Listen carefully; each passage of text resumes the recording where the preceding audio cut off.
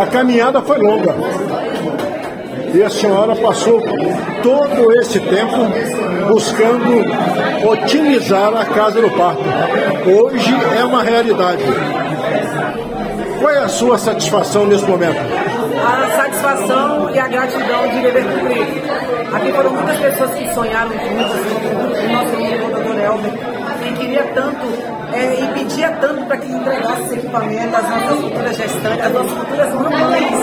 E esse equipamento humanizado, um equipamento que é uma casa de parto, que nós colocamos e homenageamos a dona Lu Parteira, um equipamento que está trazendo a essas mães a segurança, a tranquilidade de que esse equipamento é 100% SUS, mas não é de qualquer jeito não. Aqui é com responsabilidade, com amor, dedicação e uma equipe técnica formidável, sem igual, que está pronta para conhecer melhor as nossas famílias. A futura mamãe é de Carla. Estou aqui, ó, só aguardando o nosso Emanuel para inaugurar nossa casa de parto do Parteira. Você já sabe o que é menino ou menina? Emanuel, Emanuel. Emanuel.